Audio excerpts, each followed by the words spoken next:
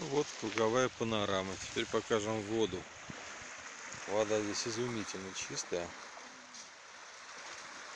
Прозрачность до 45 метров.